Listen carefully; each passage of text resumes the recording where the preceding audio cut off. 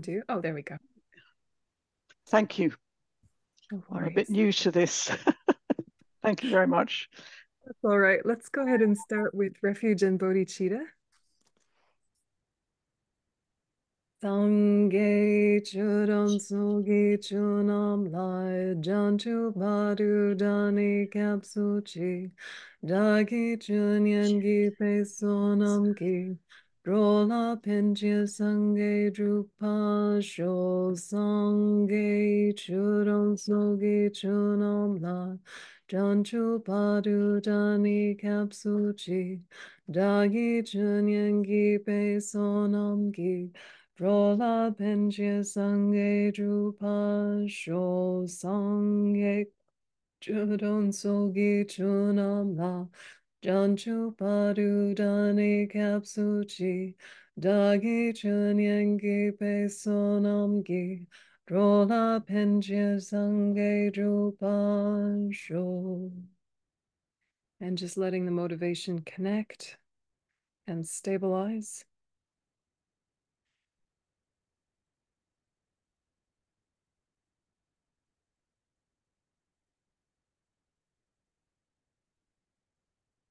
Okay. All right, so we're continuing with Guide to a Bodhisattva's Way of Life, which, uh, you know, I think is much beloved. And if you don't know it yet, you shall love it, I think. Um, but it's uh, it's something that we talked about just kind of in an overview way last time. We were just talking about main themes and some of the uh, pop out verses. And uh, now today we're going to start from the beginning, but not every single verse, obviously, because we don't have the time. So we'll do mainly chapters one and two today. And, uh, and we might sort of pop into different sections as well, just seeing as we go. And um, I think that uh, today we'll do maybe two meditations, two shorties, um, if you're in the mood for meditation. Um, it seems like we're sort of in a meditation mo mood, this group looks like. Nods, yes, okay. okay, cool. So we'll do two shorty meditations as well to break it up. And um, I think it'll be quite nice. So starting at the top just so we don't lose anybody, we got relative bodhicitta, remember? The mind of enlightenment or the spirit of enlightenment or the heart of enlightenment, depending on your translator. This being the main Mahayana motivation, the altruistic mind that seeks enlightenment in order to benefit all sentient beings. So the point of the whole text is to develop bodhicitta. Yeah, what's the point to guide to a bodhisattva's way of life? To develop bodhicitta and eventually become a Buddha, right? Um, then we have ultimate bodhicitta, which is the same exact thing in the mind of someone who has realized emptiness of inherent existence directly or perceptually. All right, relative bodhicitta, ultimate bodhicitta. Yeah, we, we talked about that last time. And then of relative bodhicitta, we just touched briefly on there being another subdivision, aspiring and engaging. And the difference of these two bodhicittas is like the desire to go and actually going. So here we'll get into the verses. so in chapter one, the benefits of the mind of enlightenment, it's kind of like the advertising chapter. Like, why is it a good idea to have this way of thinking? What's in it for you? What's in it for sentient beings? What's in it for the greater good?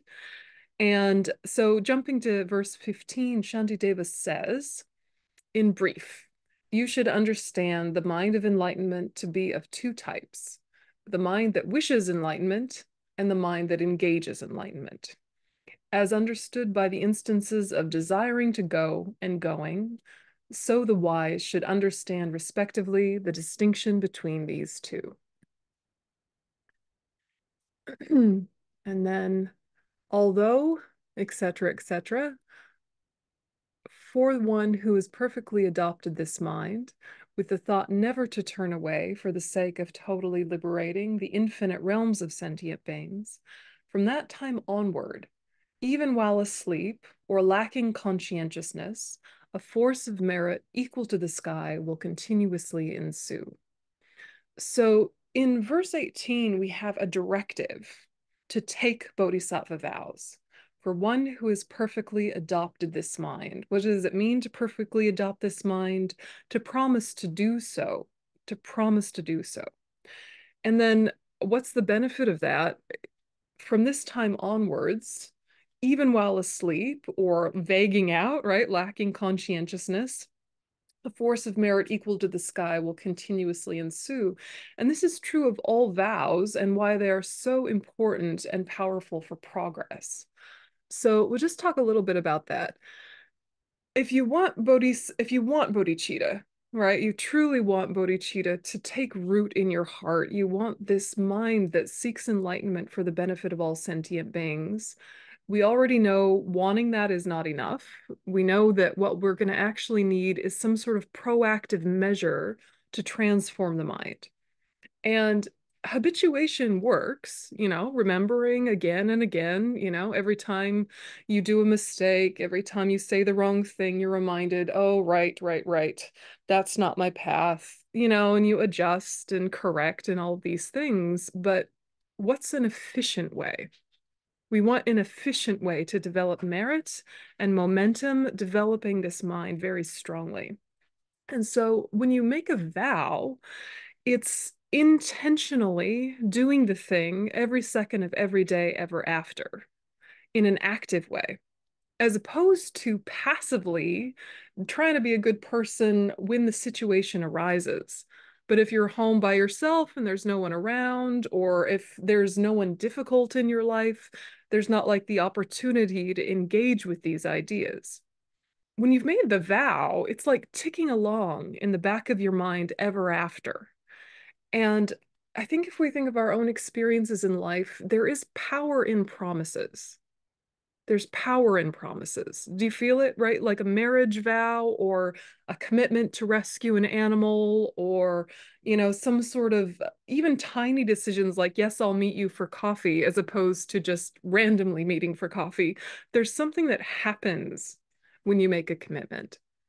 And when you make a big commitment like the Bodhisattva vow, you're engaging with the unbroken oral tradition from the time of the Buddha. The Bodhisattva vows were given during the Buddha's lifetime. They're expressed in a number of sutras. Um, the easiest to come across is the Brahma Net Sutra, talks about the Bodhisattva vows in a lot of detail, and that's where the Chinese Pure Land tradition derives theirs from. They're all over the place. The Buddha gave the Bodhisattva vows. And connecting to the unbroken oral tradition is like carrying a type of thread or a type of channel to the Buddha himself, which means you're also held and protected and supported by this lineage. You're also just reminded that you're not the first person to try and do this really heroic, perhaps, I don't know, overkill kind of way of kindness. Um, you know, we're not the first ones who've tried this, and that should be a great sort of I guess, nourishment or reassurance to us. But it's more than that. There's something palpable, and from the, you know, depending on what tenet school you speak from, in the Sutra um, tenet school or the mind only tenet school, sometimes they talk about vows as having subtle form, subtle form, not form that you could touch, but very subtle form. And they talk about your vows as having like a precept body that holds you in a certain way. And I think when we're very in our intuition or in our energetic sensitivity or really, you know, tuning into the great beyond, we can feel a difference when someone has taken a big vow, like a lifetime vow or a lifetime's vow. Like the difference between, you know, a beautiful couple that's been together for years, living together, happy, harmonious, and now they've decided, they've committed to each other. There's some sort of energetic shift whether it's a formalized ceremony or something they did privately amongst themselves, there's a shift somehow, and it's hard to describe. If you have friends that have taken ordination, you might feel there's a shift more than just the look of them being different. There's something, something has shifted, and they're carrying something different that protects them and also invites better things so this is something that you know you can kind of leave in the realm of ambiguity and you know maybe that's a bit too woo woo and i don't know about that but i think we all believe even in a very secular way that promises are important and that it's significant to decide. So the bodhisattva vow is active whereas when you're being a nice person in your daily life it's a little bit more passive. So the karma you create is different when you've chosen to decisively live in this way, as opposed to incidentally when you remember. And so the Bodhisattva vow, once you've taken it, even when you're asleep, even when you're vague, even when you do the wrong thing, it's ticking along in the background there, helping you gather merit, this mental momentum that leads to fundamental shifts. And uh, the way the Bodhisattva vow is described is like a golden vase, something incredibly uh, valuable and very delicate easy to dent, right? Gold is a soft metal, very easy to dent, and very easy to repair. So it's precious, it's easy to dent, it's easy to repair. And vows in Buddhism are slightly different than maybe the way you think about vows in the ordinary world. The assumption is you're probably not going to be perfect, or you wouldn't need the vow to begin with. Yeah. You so what is the way to hold a vow purely is to immediately address any micro transgressions and restore and revive the vow. So to actually break the vow at the root such that you don't have it anymore, you have to really mean it, right? You have to really mean it. And those of you that have highest yoga tantra, you read this in succession guru yoga every day. What does it take to lose bodhisattva vows? First, not seeing this transgression as a fault, not giving up the wish to engage in them, doing this negativity with delight and satisfaction, and having no shame or consideration. So you need all four of those factors to actually break a bodhisattva vow from the root, except for holding wrong views and giving up bodhicitta. So holding wrong views and giving giving up bodhicitta are so serious that you don't even need those four branches to break them. But when you look at that, you mean to break it on purpose. It's not a slip of mindfulness. It's not like a clumsy moment. You very intentionally are harmful and happy about it. So that actually takes quite a lot, yes? If you've decided I want to work for the welfare of all sentient beings, I want to become a Buddha for the welfare of all sentient beings, and then for some reason, some relationship in your life has got you all boiling with resentment, and you decide, I'm going to work for the welfare of all sentient beings except for you, right? And you mean it, and you're happy and delighted about cutting one person out of your heart that would break the vow, yes? But you have to really mean it. Yeah, not just a passing thought of, oh, that was an uncharitable thought, adjust. You have to really mean it. Yeah. So so really think of these bodhisattva vows as incredibly precious, very easy to transgress, very easy to mend. And the benefit of them is that it carries this momentum ever after the rest of your life.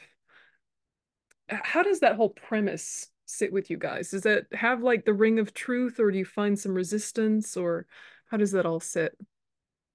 The whole idea that vows, once you take them, carry so much more positive karma than just kind of incidentally try to be a nice person.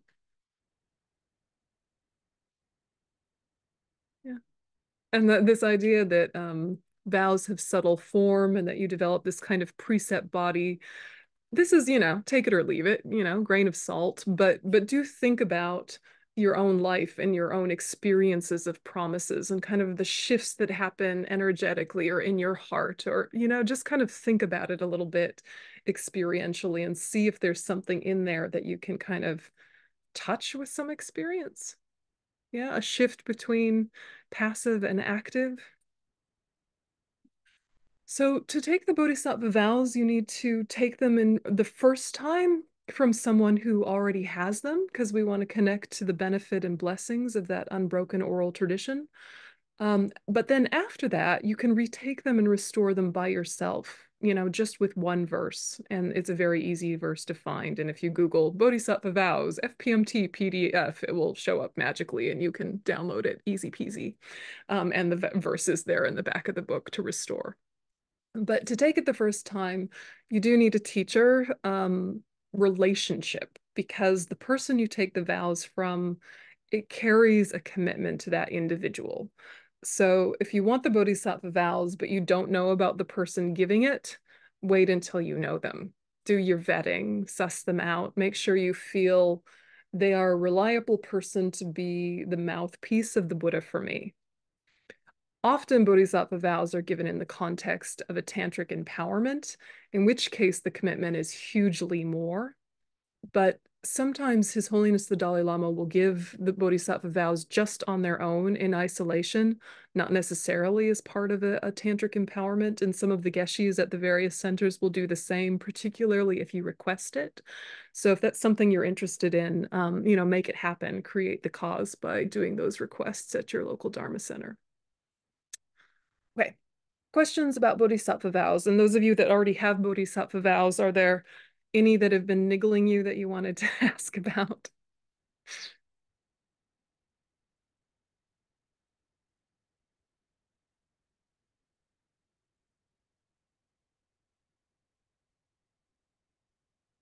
Not? All right. cool. All right. So for one who has perfectly adopted this mind with the thought never to turn away for the sake of totally liberating the infinite realms of sentient beings. From that time onwards, even while asleep or lacking conscientiousness, the force of merit equal to the sky will continuously ensue. Okay. So when we're developing bodhicitta, there's actions and antidotes and different ways of really getting it to change our heart fundamentally such that it becomes uncontrived and that we become a bodhisattva.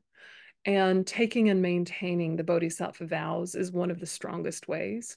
There are 18 root vows and 46 secondary vows, but they all boil down to refraining from negative actions, those that are destructive, engaging in positive actions, those that are constructive, and actively seeking to benefit sentient beings. So they all boil down to these three.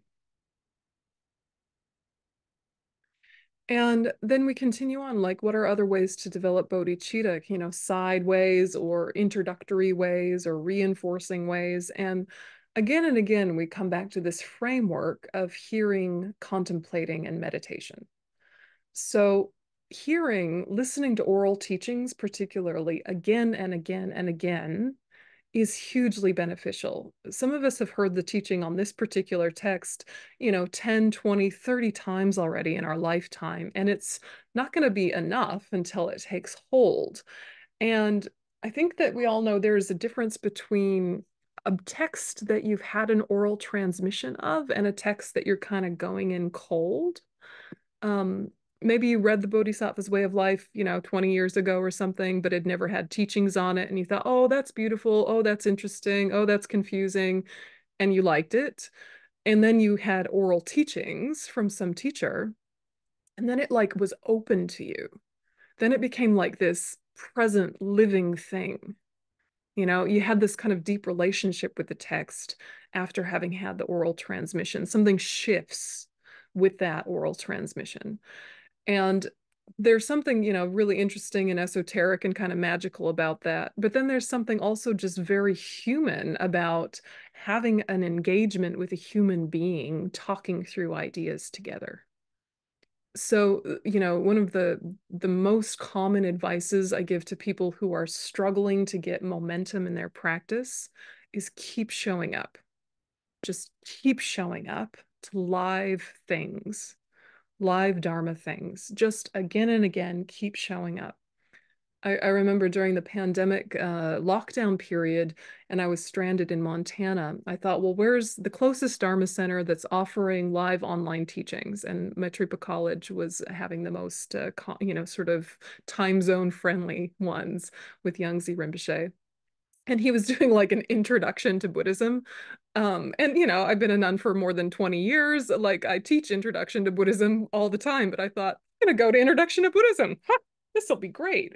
Fun the first time, right? And it was so lovely, right? To just go through those things that I'd heard so many times, that I'd taught so many times, but just to keep showing up to these ideas that I love wakes them up you know, so having this mentality that just keeps showing up to the Dharma classes. and knowing that you know it's hard to get things organized and the logistics can be frustrating but the live encounter can never be overestimated i think. And alone in your room with some books it gets a little poignant. Yeah it gets a little poignant. So if you're ever feeling that kind of stagnation in your practice you know we kind of incline and then plateau and then incline and then plateau. If you're in the plateau perhaps even a dip show up to some classes it might not even matter the topic might not even matter the topic just keep showing up would you guys agree some of you are old dharma students from from way back um, what's kind of kept you going in the dry spells, the dark nights of the soul, the existentials.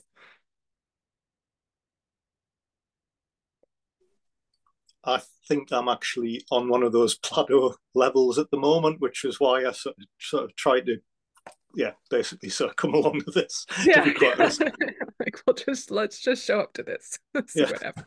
Yeah, definitely. Yeah, definitely and and the thing that you know like Jetsunma Tenzin Palmo always says is start again just start again even if you've started again a million times just you know you let you lose the thread or you have a gap or you sort of you know had some lost years you had some attachment thing or you had some grief thing or you had a health thing and for whatever reason your practice kind of dipped even though you love it. You know the maturity that says don't throw the baby out with the bathwater just because you lost momentum. Just start again. You know it's it's a deep maturity that can do that. Um, and uh, it also is a, a kinder way of looking at your own transformation because you're not expecting to have finished anything or accomplished anything or to be anything other than you are you know it's it's a kinder framing so just you know keep having that beginner's mind, even if you've been a beginner for many, many, many lifetimes, because we all have. Yeah. Oh, see, there was a in the chat.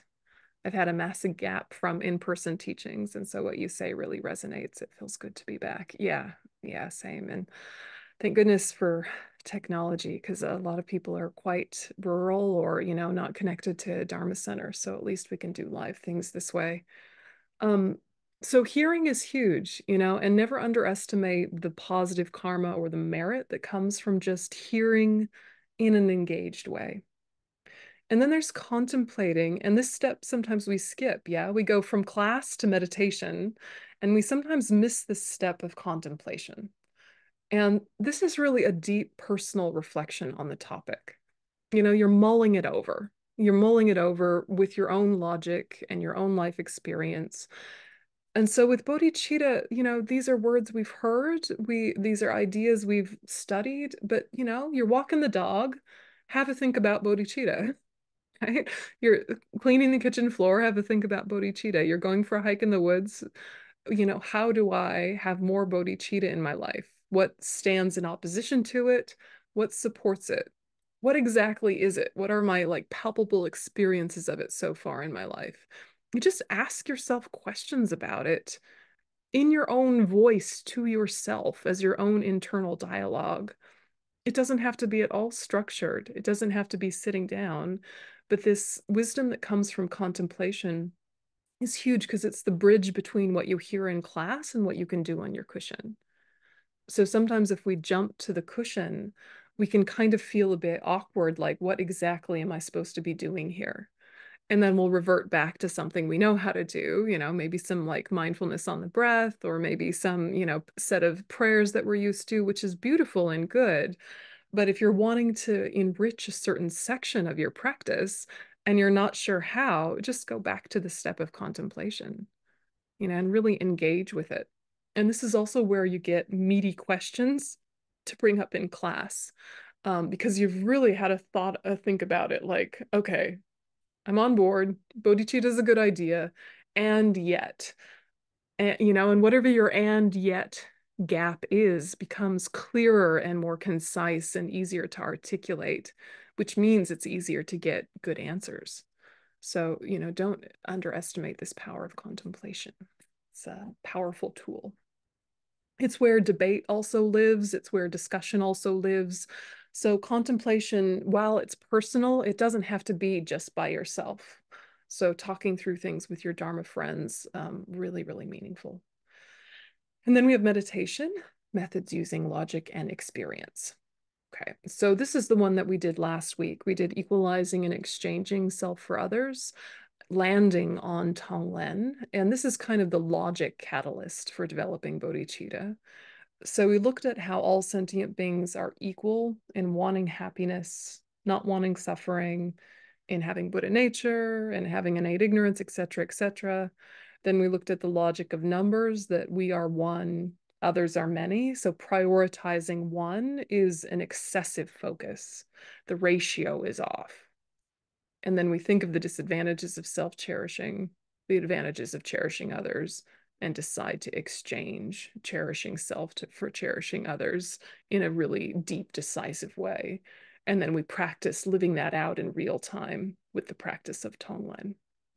So last time, did you have any questions about that particular practice or interesting things that came up? Yeah, uh, Leonardo? Hi. Hey. Uh, I was just wondering about uh, the matter of uh, contemplating. Uh, it's really like a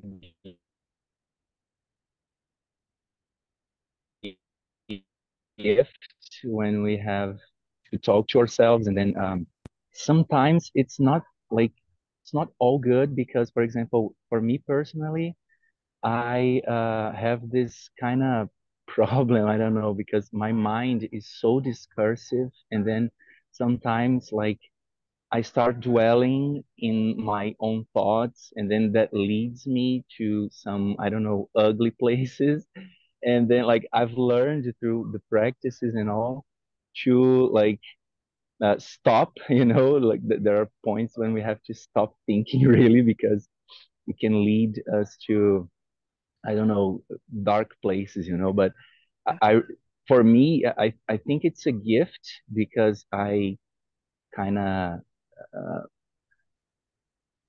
I, I experience like good thinking and um most of the times it leads me to good places, but I have to be watchful, you know, because sometimes it doesn't go very well. That, that's the yeah. Yeah. And you know, when you start to spin out, you know, and I think that when you're doing the wisdom of contemplation, it helps to have a container if you're in a little bit of a prone to darkness day, you know, if you're getting a bit morose, you're getting a bit melancholy, you're getting a bit whatever is your particular trend, a container is helpful. And by container, I mean like a prayer that you already love, like the foundation of all good qualities, or some of the verses from this text, or the three principal aspects of the path, or whatever it is, some short prayer, you know, eight verses of thought transformation but a short series of verses to kind of uh, be the catalyst for your contemplation. So you read one verse, and then it's as if you're having a conversation with it. You're saying, okay, well, what about that line? What does that mean? What did the teachers say about that one? What did the commentary say about this one? And it becomes a conversation that's a bit contained because you have this structure to move within so uh, particularly on days when you feel like if I start an analysis, it may not go well because I'm in one of those moods, give yourself a chance by giving a container like a series of verses in a prayer. That can really help. Yeah. Yeah. Thank you. Yeah, absolutely. Thanks for the question. So so with equalizing and exchanging, you know, this this one it only works if you're very real with yourself. You know, if you just kind of like are going through it, like checking off boxes, it doesn't have the same depth. And I mean, that's true of everything. But when you're thinking, what are the disadvantages of self cherishing, for example, don't just think there are many, you know, and leave it at that, right? Like, think specifically. So for me, when I have self cherishing, very up and driving, what do I do that hurts myself and others? See your memories for examples. You know, like really make it real. And if you can't think of anything right off the bat, you can think, all right, well, globally, what's wrong right now? Could I identify the main source of all the troubles in the world being self cherishing? Yeah. right? And then it elaborates into all sorts of unfortunate political decisions. But like the root of the root, right, is self cherishing. Why don't we share, right? Like, why is there war? Why is someone like, I want that land? And the other people are like, no, you can't have it. You know, like it's self cherishing. And we, we think it's this very complicated political situation, but, you know, we're like children who can't share. And why can't we share? Because self cherishing says it will cost me to share. I need this protection of whatever it is. And it's a lie, but it feels real because of self grasping. So we don't see how the self exists. And so then we try to protect this false self and again and again make decisions that hurt ourselves and others. And then because we're hurting, we make even worse decisions. Right? It's as simple as that. And we already know that. But if you're sort of, you know, looking for examples in your life of self-cherishing and if they're not coming quickly, look globally, then look at your, you know, state or your town, your neighborhood, your family, yourself. you know, just gradually go like that. Or start with yourself and expand out. But part of not just leaving it on yourself is helping you understand that this is part of the human condition and that you're not like a particular rat bag like you're not the only jerk in the town, right? Because some people can have the tendency once you do self-reflection to go, oh, it's worse than I thought. Don't, you know, don't over-identify. Be like, oh, this is how we are. This is how we are. Not this is how I am or how you are. This is how we are. Then it feels like this collaborative thing of any insight you gain into piercing through it has some sort of ripple effect. Do you know what I mean? And then you think of the advantages of cherishing others, and it can feel too sugary sweet and too sort of self aggrandizing and too like patting yourself on the back. Oh, how wonderful I am when I'm in a good mood. You know, don't make it, you, you know, saccharine or something. Like, really think genuinely when you are in a good space, the benefit you have to others is more. You know, they when they get the best of you, that has a ripple effect too. And your friends and family, you know, when they think about what they can rely on you for, those are some beautiful traits that are intermittently present. right they they are traits that you have but they're not consistent because none of us are consistent and so in thinking of the benefits of cherishing others you're thinking of what you already do well and that you would like to do it more often, more consistently. Yeah. And when you're thinking of, you know, when a neighborhood is functioning well, when a country is functioning well, when the world is functioning well, what are the characteristics? It's not being blinkered, you know, and blind, you know, sort of like in this tunnel vision. It's when there's an expanded focus of genuinely considering the needs of others. And even to feel that counterintuitive tug of thinking of others when you're in a bad mood feels like the last thing you want to do. But when you do it, the relief is incredible. It just is such a moment of tension and resistance in that like segue, right? In that little moment of truth between, am I going to dive into my melancholy or am I going to pop out of it and think of others? Is really uncomfortable. Yeah. And your ego is under threat. But when you do it, the relief is incredible. So cherishing others benefits you, cherishing others benefits others. Cherishing yourself really is no good to anyone at any time, including yourself, except for the briefest moment of some sort of symptoms relief of your immediate discomfort. Yeah, but it usually has very little staying power choices made under the influence of self-cherishing, if you're thinking about them, you're never really as satisfied as you think you're gonna be. You're like, oh, today's a me day. It's gonna be all about me today. And then you do all your me choices. And then you're kind of like, oh hum, you know? And so, you know, use your memories, use them well, and use them in these meditations and use the scaffolding to kind of work through the different sections. So if you are looking at this process of equalizing and exchanging, do you have any questions or any comments about it before we shift to another? Does it feel like you could you could do it on your own? Yeah, Joe, go ahead. Um, the the logic of the numbers, I, I kind of understand the logic conceptually, but is there other ways of uh, kind of building up, reinforcing it? Because it's just, I'm not sure I would lay down my life at the moment for anybody. Yeah, I know not, I know I'm not being asked for that, but no, no, you're being real, and that is uh, key. I mean, I, I often think of the logic of numbers in terms of just like first start with the wise selfishness and then expand to more and more genuine and deep forms of altruism. So the wise selfishness, I, I often think of like cooking, because if I'm cooking just for myself, like I'll make a peanut butter and jelly sandwich, you know, like I can't be bothered you know, it's too much work. But if I have a bunch of friends coming over, I'm going to make a nice meal with like healthy food that's fresh, lots of courses, bring out like actual plates. I won't just like eat it on the tiny plate, like standing in the kitchen. I might actually sit down and eat properly. You know, I might make some beautiful chai. And because people are coming over, I'm going to all this effort for them because I want them to be happy. But I wind up having a good meal that I wouldn't have had just thinking of myself. You know, so it's like how expanded focus benefits you. Or, you know, I think about something like you're having a a little niggly thing like you're hiking and you've got a rock in your shoe. If you're by yourself, you might get really frustrated at the rock in your shoe and be like, harumph, you know, and like sit down and get your boots off and shake it out and then put your boot back on. But if you're with a bunch of friends, you just kind of like casually take off your shoe, dump it out, put it on, keep talking all the while, enjoying one another. Like it shrinks to its correct proportion because you're thinking of more than just you and your own little things.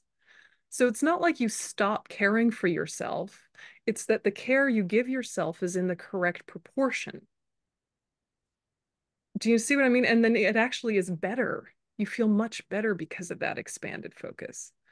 So the logic of numbers is, is an interesting one to play with, either playing with it when you think of others, how you benefit, or how when you're having a difficulty, it's much easier with a widened focus. Either way, I think that can really help. That's so helpful. Thank you. Yeah. Yeah. Do, does do does anyone else have thoughts, questions? Yeah. Isla? so I'm not quite sure how to phrase it and how to context it, but it's so when you get when you get kind of real and you contemplate and you think about these things, there there becomes this disconnect where there's this intellectual idea of okay, right, and this is good and this is not good this is beneficial this is harmful this is poisonous to do don't do it etc and then there's comes this instinctive reaction. It's almost like a war between parts of yourself. And because the feeling and the habit is so strong and i can kind of see that in relation to attachment whether it's like you know attachment to oh, me and i need this and but then below that is this like this black hole that's like empty and that i can see that that's why it then goes oh yeah but if you have this then that'll the black there won't be this hole anymore even though i know intellectually there's not even a hole in the first place it's not even a thing but it feels like that. So then you're stuck with this pain where you then don't know how to you're not at the point where you can stabilize in your own head and, and create joy there but yeah. you know that out there's wrong but you have this such strong feeling of yeah but that that's the thing and you're going yeah but it's not. It's really not. Just go away. Like but first but first. Does that make sense? Like yeah. how do you in relation to anything whether it be exchanging self with others whether it be attachment whether it, it i think it fits in with all of it this this split. Yeah.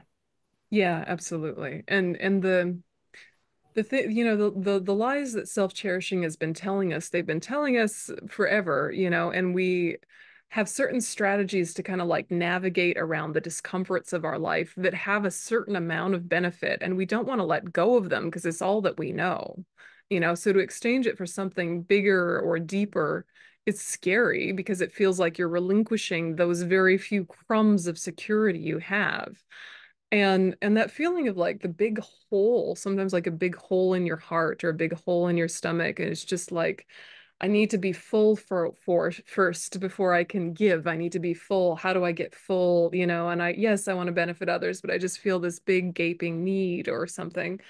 And that sort of palpable experience can be really interesting to work with because if you imagine like imagine there is a big hole at your heart, but it's manufactured by self cherishing. And cherishing others is like stretching the hole so open that you're just openness. So rather than trying to fill the hole, you're stretching it out until it's a big expanse and there's nothing there to fill now because you're feeling like wholeness, you know, like uh, W H O L E, you know, you're in that big expanse. So, so it's interesting to kind of play with what's a different way of approaching that like heaviness of heart or that kind of like uh ugh, sort of tension that can happen. So rather than trying to fill it, because that actually will make it feel like a bottomless pit, you know? Before you start to address it, you're like, oh, that's a little uncomfortable. And then you start to like use strategies of attachment, and then the chasm opens like a giant ravine you know and then how will it ever be filled? And then just you know depression and sadness and all this like angst. But instead if you feel i'm taking the hole and i'm stretching it so open it doesn't have any sides anymore I'm, I'm thinking of more and more and more and more and more people. And this is kind of what we do with tonglen is you think of what is going wrong with me right now you know physically what's uncomfortable or painful mentally what is happening that's distressing logistically what's annoying and or even really frightening how about i decide that i want it and i give it to the self-cherishing attitude? And actually i want everyone else's too. Everyone else having financial difficulty or relationship difficulty or a scary health diagnosis or discomfort of aging or instability I want it. Give it to me. All the things I don't want, I actually do want. They came from the self cherishing thought, give them back to the self cherishing thought. It's almost like it's so much, it like bursts the hole into just expanse. And then you think, all of the happiness I have, you know, it's like, don't take it from me. It's all I have. And you're hanging on to it like it's a blanket you've wrapped tight around you. But then if you imagine opening out the big giant blanket and holding everyone in it, it's so much warmer.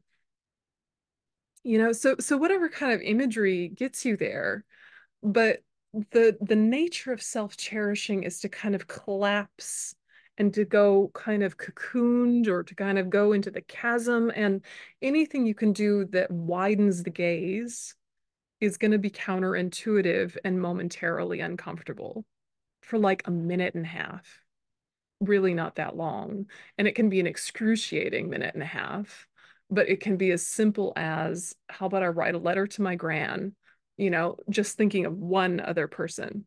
You know, how about I brush the cat a little more?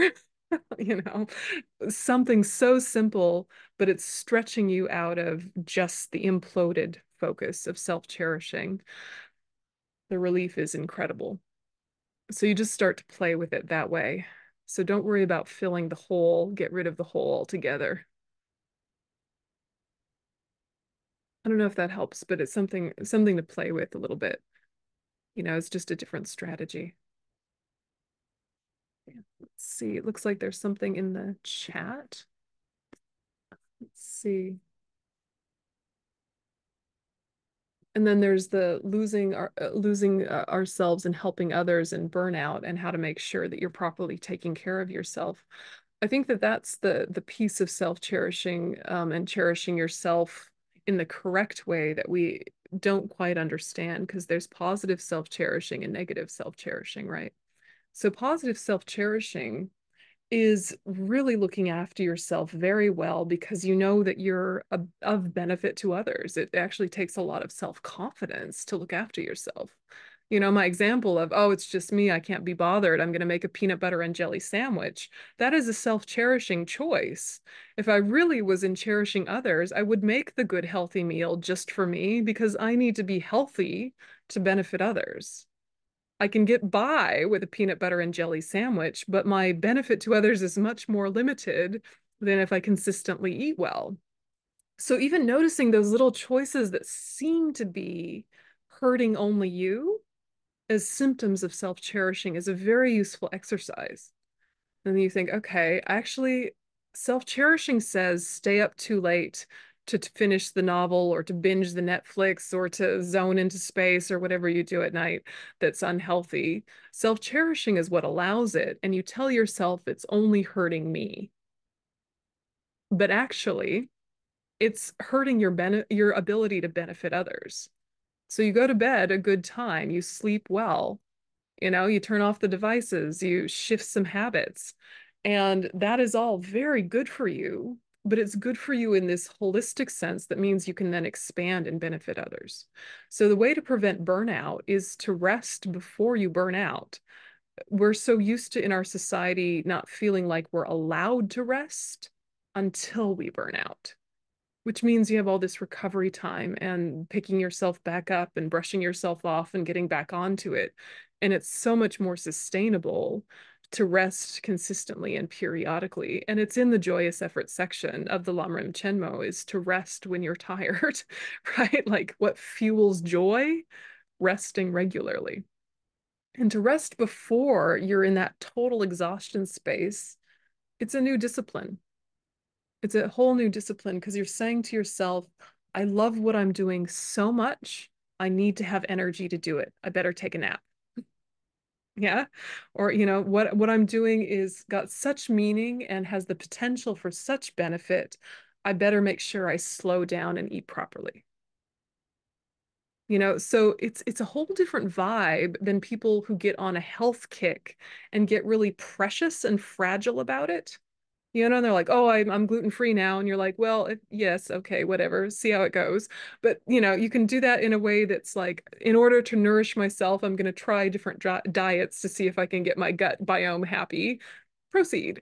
But people sometimes do it in this way that then becomes uh, very tight yeah and they suck all the energy out of the room with their choices and they're like oh oh oh no uh no deadly nightshades can't have eggplant and they you know and they go into a whole thing and their ayurvedic medicine doctor says this and this and this all of which might be fully valid but the energy they're bringing to it is so precious and me first it's such a different thing than oh, I better go to a nutritionist or, or an Ayurvedic doctor or the Tibetan doctor or the acupuncturist or whatever and like get my diet sorted and figure out my allergies and food sensitivities.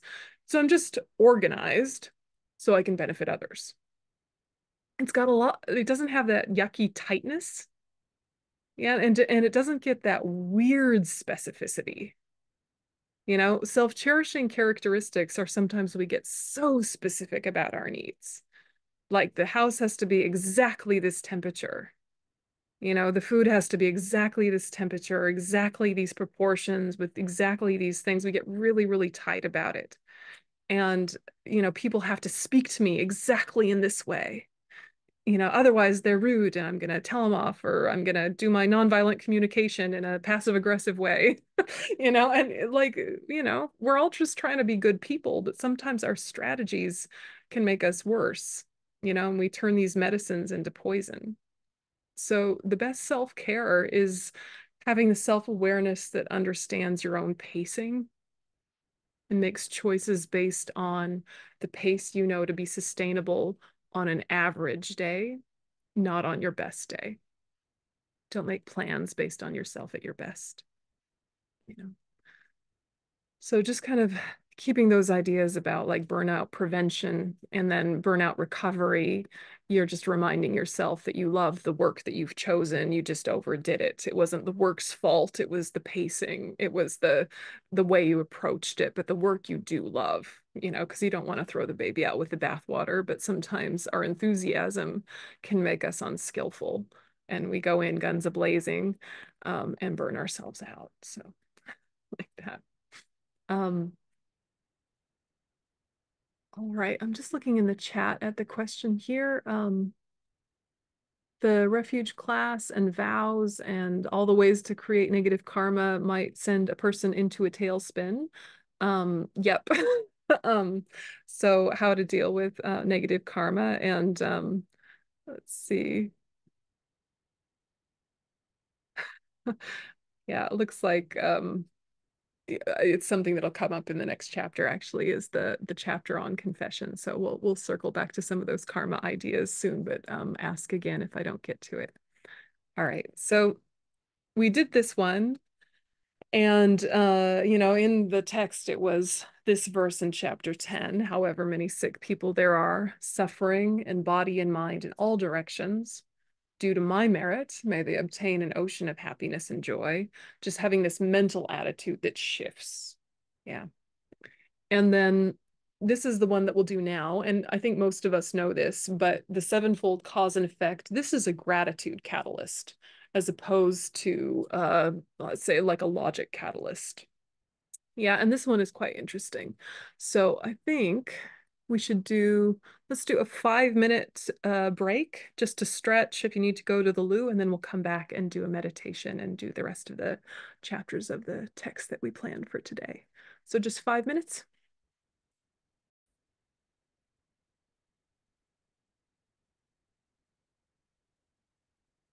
Okay, so we don't have tons of time, so we'll just do this in the short way and uh, and then we'll look a little bit at some of the other verses.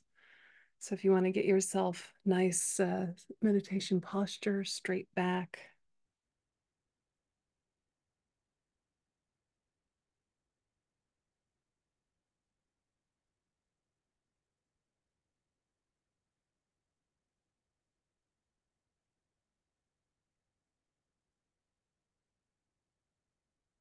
And think in order to develop my mind, I need to meditate May this meditation facilitate my development for the benefit of all.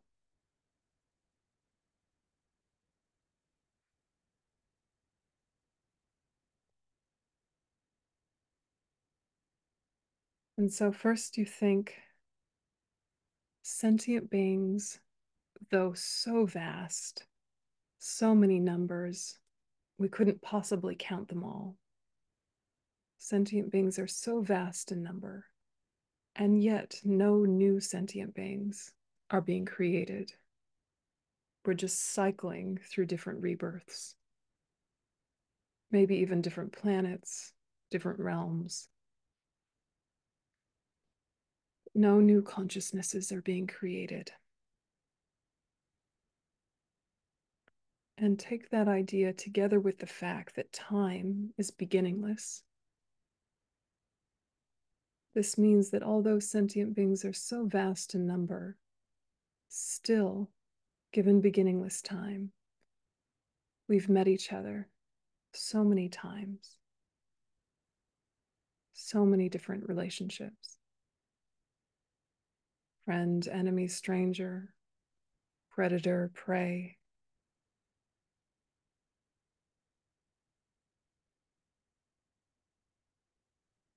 And of all of the relationships, the one we want to focus on is the mother.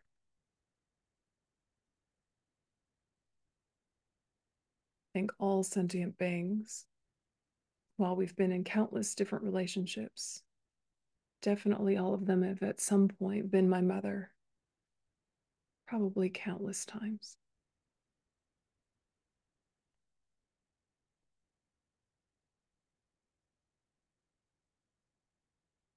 Just feel it might be possible. All sentient beings have been my mother.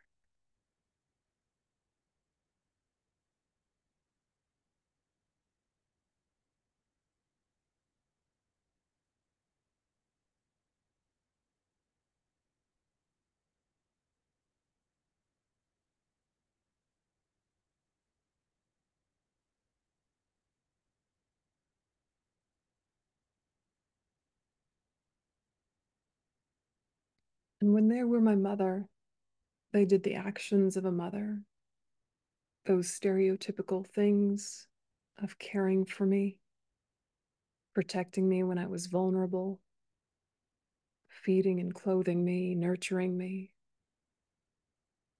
being my first teacher of so many things, talking and walking, colors and shapes how to navigate in the world. And so, whether your own mother of this life is a good example or not, just think of those archetypal mothers or those stereotypical qualities of the best love that samsara has to offer. Every sentient being has been that kind to me.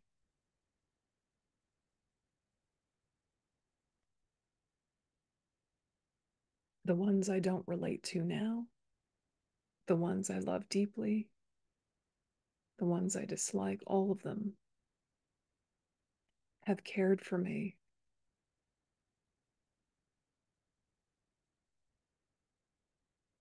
have looked after me as their beloved child.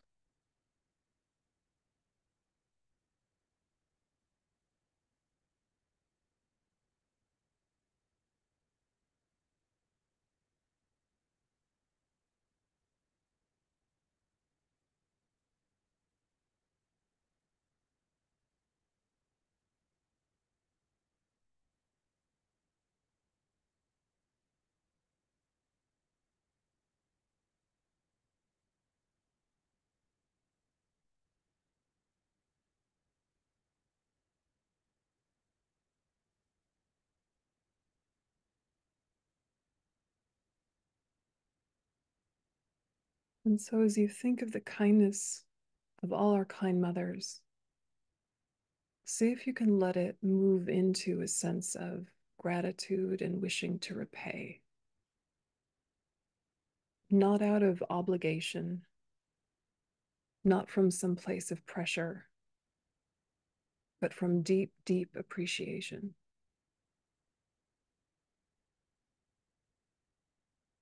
May I repay this kindness.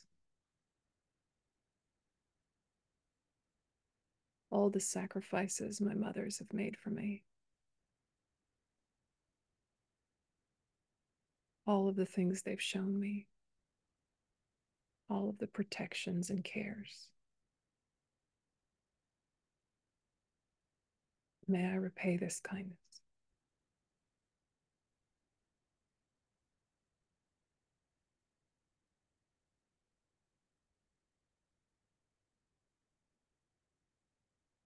How do I repay this kindness? Well, they want happiness. So may they have happiness. May all my mothers have happiness. Connect with that mind of love. May they have happiness.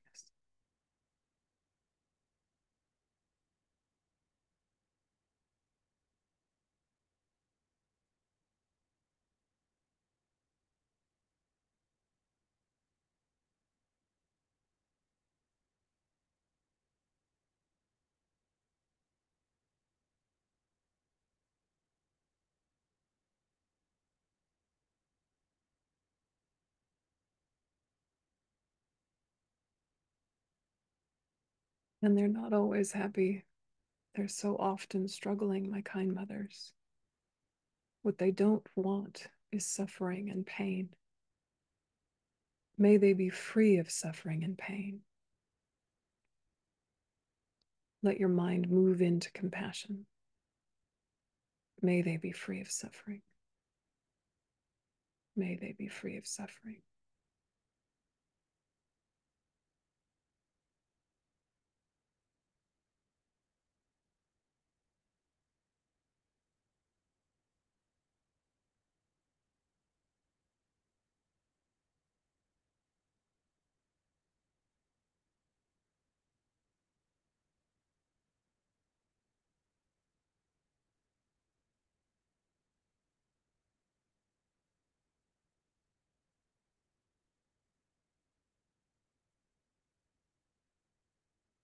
But am I repaying their kindness by simply wishing them happiness and freedom from suffering? Or do I need to take some responsibility? May I facilitate them being free from their suffering. May I actually be involved, an actual participant in alleviating the suffering of sentient beings.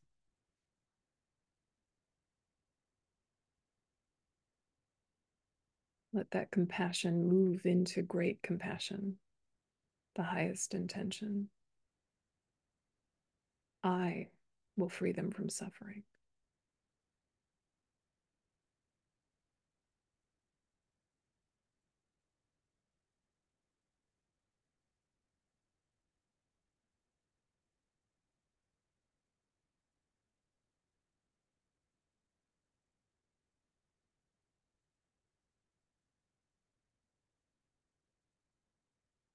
And in that beautiful commitment, wanting to take responsibility, comes the question how? How? Sometimes I'm useful, sometimes I'm not. Sometimes I mean to help, but wind up harming. How do I actually alleviate suffering of sentient beings?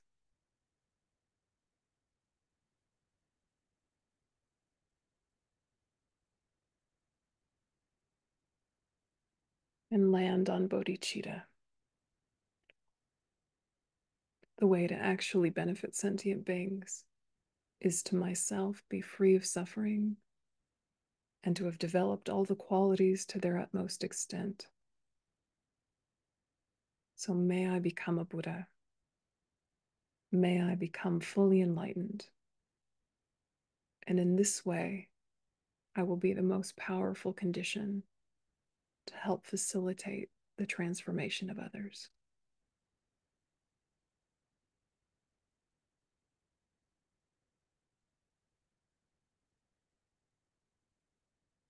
I will become a Buddha for their sake.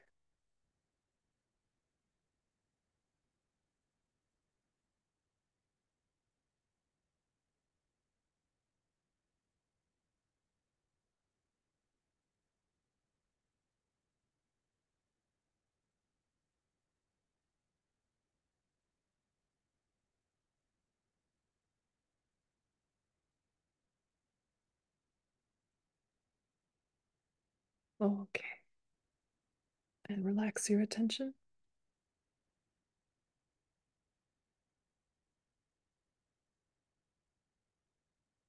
And so, this one, this gratitude catalyst one, this is really incredibly powerful if you work your way through it, really touching something.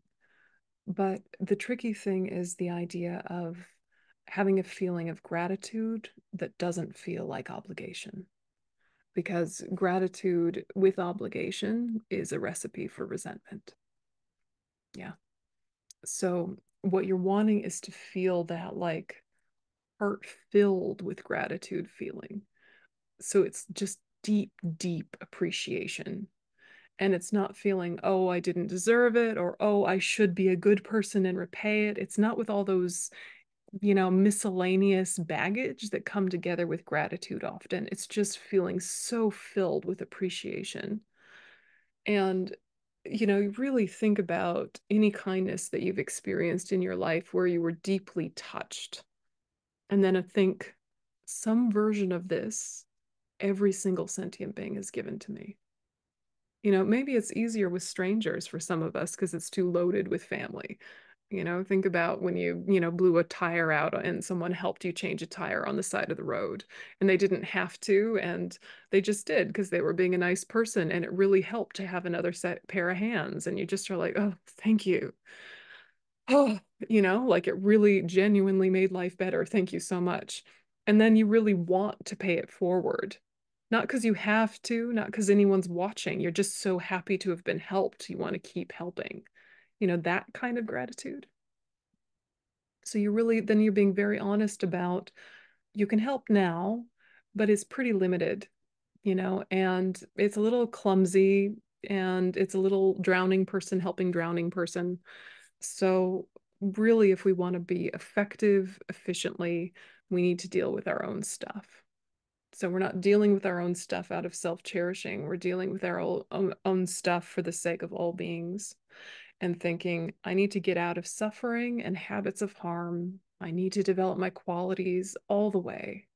And that doesn't mean I can't help people along the way. It doesn't mean I have to like stop helping people until I'm a Buddha, right? But it means that the attitude I bring to the care of others actually has less pressure on it. You're like, I will absolutely do all I can in this moment for these people in my life, but that is not the whole of my vision my vision is becoming a Buddha for the welfare of all sentient beings. And so, yes, absolutely, anyone across my path, I'm going to do the best I can for them. But if it works, great. If it doesn't work, that wasn't the main point. The main point was the attitudes I'm developing and enriching and developing depth with that. Does that make sense? And then your radius of impact naturally increases and your ability to benefit people naturally increases, but you don't get stretched thin it's a it's a naturally growing capacity you know rather than just trying to dash everywhere and help every charity and help every neighbor and help every family member when that kind of help is just symptoms relief. You're not getting to the core of the issues. And you know feel feel some of those moments in your life when you've been deeply benefited, maybe in a spiritual way or some deeply transformative way. Sometimes it's just one conversation, you know? And to be the sort of person that's a catalyst for someone else's transformation, this is what we want to start becoming. Like the other person still has to participate. We can't force anyone out of suffering, you know, as much as we'd like to. We can't force anyone out of suffering, but we can be a very powerful condition to meet their wisdom.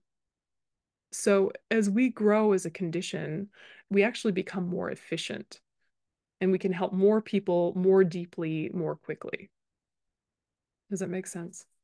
So, so developing this big picture, this deep attitude, gradually your, your actual benefit has more lasting impact. So this is kind of ways to think.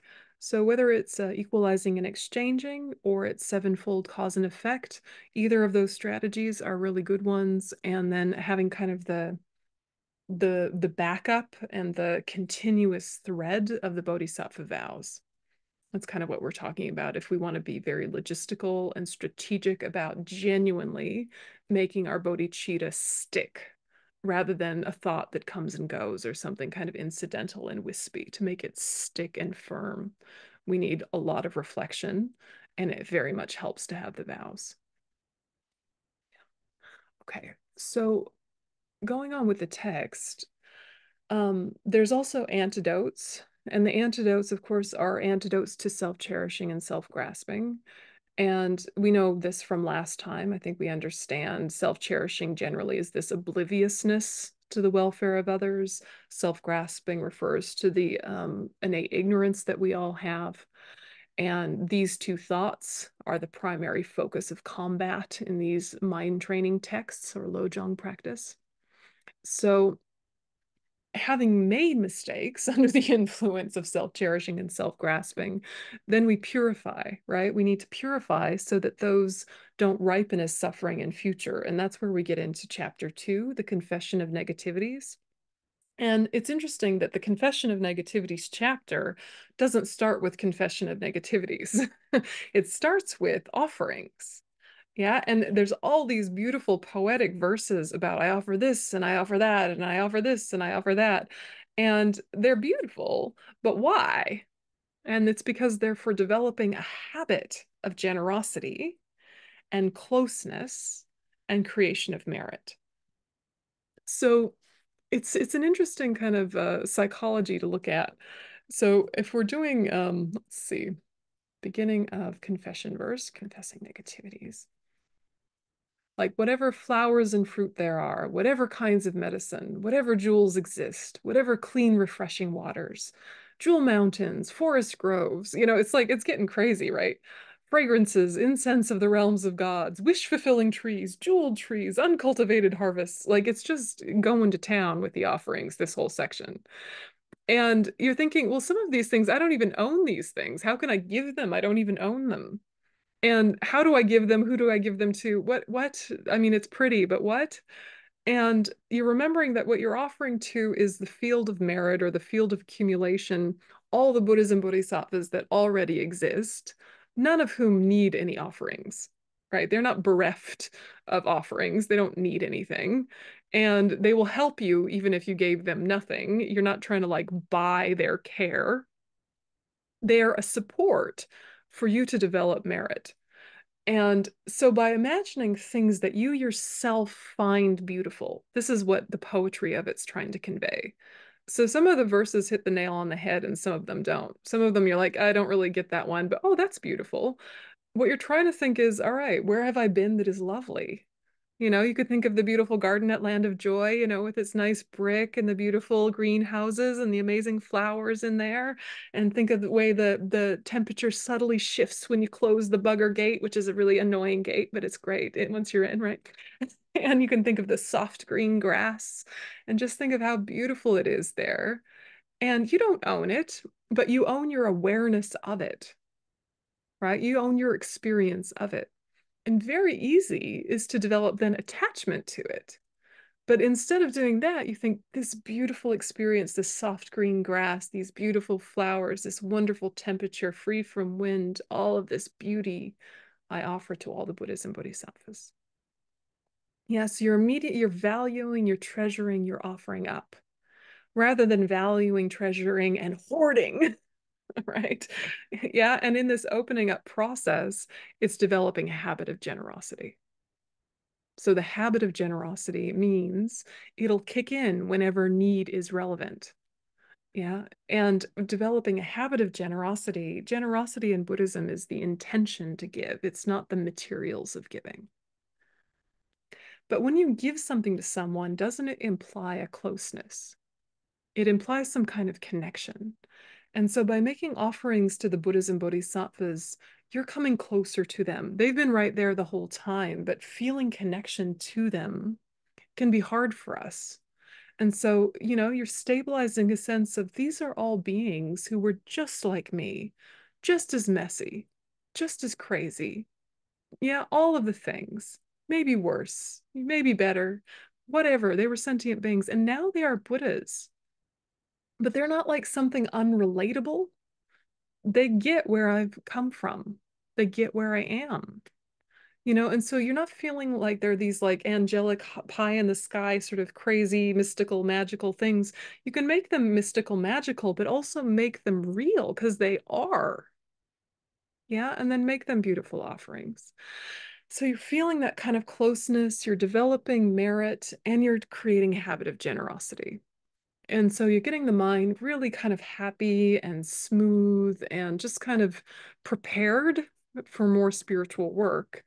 And then you shift to making prostrations, which is, of course, for subduing pride and generating respect, but it's the type of respect that supports receptivity and also honors our own Buddha nature. So you're you become receptive to what you respect. So having words of respect, having gestures of respect keys your mind into an openness that says this is sacred and important.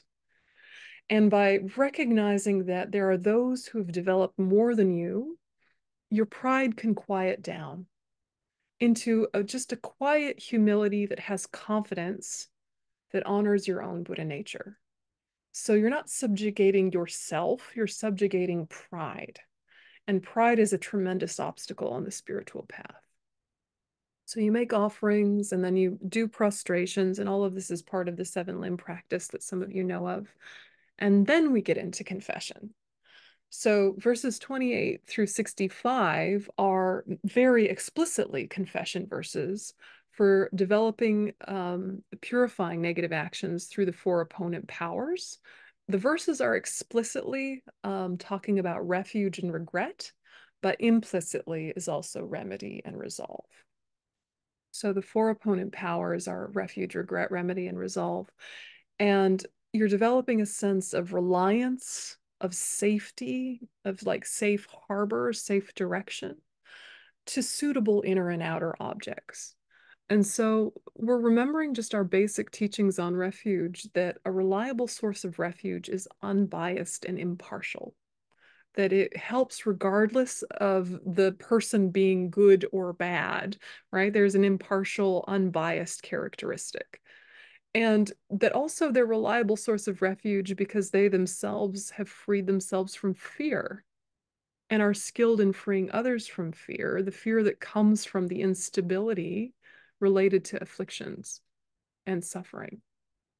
So, uh, whether you call that Buddhism Bodhisattvas or not is not really relevant, actually, because Buddhism Bodhisattvas might manifest in a million different ways. What you're looking for is this is suitable refuge object. Is this a reliable doctor I would hear a prescription from in a spiritual sense? But then the real refuge, of course, is the Dharma, right? The real refuge is the Dharma, the real refuge is the medicine, but not the pill in your hand, but what you actually take. And so, what really protects you from suffering and from negative states of mind is the Dharma that you have integrated.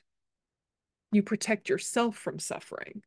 So, there was outside Dharma you had to meet through an outside person, what you actually heard, but the wisdom is your own. The health is your own. But it was relational. You know, you needed a doctor, you needed a medicine, you needed a teacher, right? You needed the Dharma. But really, like now you have ownership of it. That's the refuge, is your own development. And so then the Sangha are like your helpers, your community, your support. What does that mean? It means what we're doing right now, which is come together to have these conversations, is a lot easier and deeper and richer than all by yourself. And also being around people that some of whom you can be the helper and some of them you are asking help from creates that beautiful community dynamic that we all are very much benefited from where we're sometimes the student and sometimes the teacher. Yeah and i really you know it's a beautiful community where you feel like you've got something to offer you've got skills to contribute you've got energy to add and also when you feel i want to learn something i want to develop something. This is really a beautiful thing about community and it's so enriching. And of course, the real Sangha are people who have realized emptiness directly because they've cut all the problems and they're no longer on the symptoms relief path. They're on the deep rooted causes of suffering path, getting rid of those. But the relative Sangha is huge. And, you know, and people holding vows, monks and nuns, whether they're ordinary people or not ordinary people, they're they're supposed to be reminders of the determination to be free from samsara right? So we're reminders to each other we're reminders to ourselves hopefully we're reminders to you. Whether or not we have our act together or not is kind of incidental. Hopefully we try right? But the idea is that you see a renunciate you're reminded may i renounce suffering and the causes of suffering?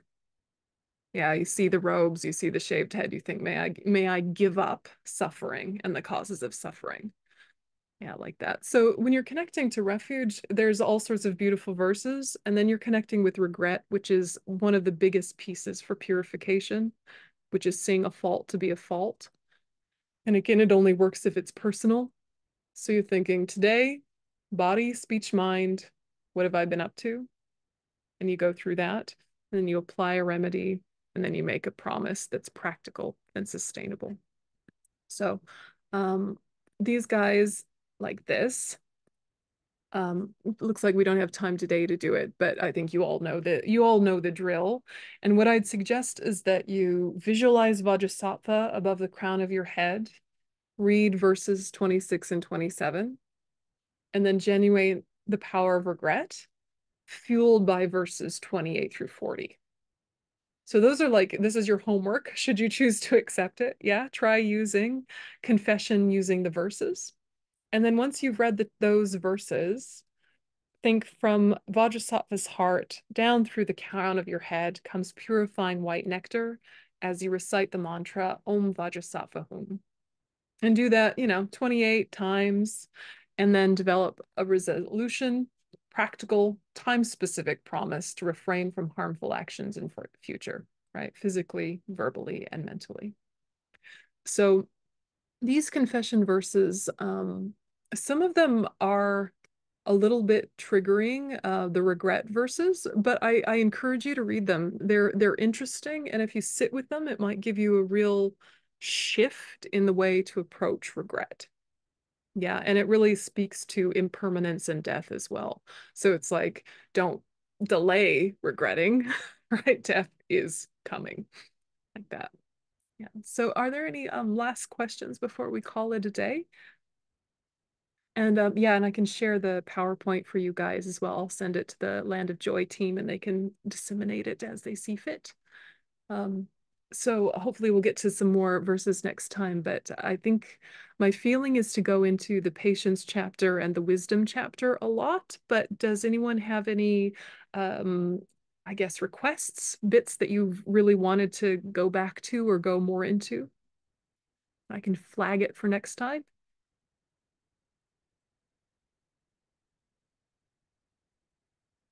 Not. okay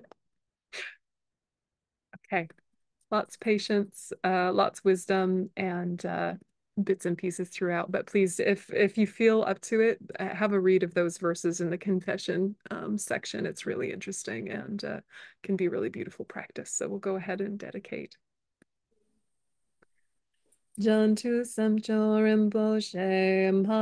Panam ke ke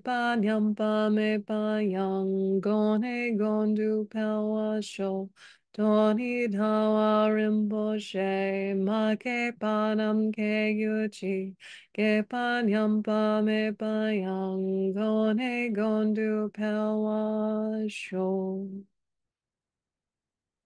May all of our teachers show the aspect of long life and good health, and may we meet them continuously until samsara ends. Thank you so much, everyone. Amazing. Thank you. Thank you. Thank you. Thank you. Thank you so much. Bye